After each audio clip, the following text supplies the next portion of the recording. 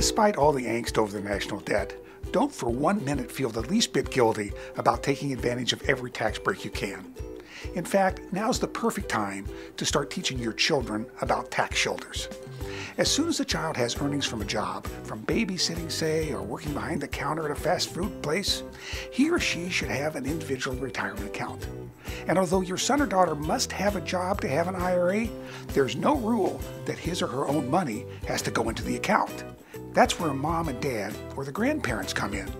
You can provide the cash or maybe match your child's contributions dollar for dollar. The IRA limit for 2013 is $5,500 for anyone under age 50. If that's too rich for your blood, how about a thousand bucks, the amount the child credit saves qualifying parents? In any event, you can't contribute more to the IRA than the child earned during the year. Imagine this $1,000 a year goes into an IRA from the time your daughter is 16 until the year she graduates from college at 22.